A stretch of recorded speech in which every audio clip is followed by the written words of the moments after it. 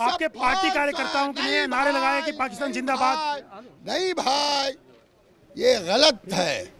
ऐसे लोग हमारे नहीं हम लोग सेकुलर लोग हैं और हमारी पार्टी ऐसे लोगों को बर्दाश्त नहीं कर सकती हमारे लोग नहीं हैं। और मैंने कहा कि जाँच फॉरेंसिक जाँच पर अधिकारी को कड़ाई से भी डीएम को कहा एसपी को कहा है पूरी प्रशासन को कहा है हमें यकीन है पूरी जाँच करा करके तो कौन लोग हैं वो? ये सब भाजपा के लोग। नहीं भाजपा ने आपकी पार्टी के झंडा टोपी ऐसा नहीं हो सकता। नहीं नारा तो आप ठीक से वीडियो पर हो।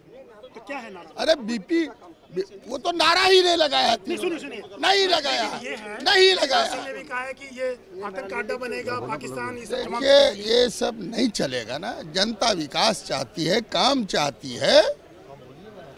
लोग से सेकुलर मिजाज के लोग हैं ये सब हवाबाजी से लोग अरेस्ट किए गए आप ही के पास अरे भाई मैं तो कह दिया कि मैं मेरे कार्यकर्ता नहीं हमारे गलत कार्य अब किसके है? प्रशासन जांचेगी उस पर कार्रवाई करेगी।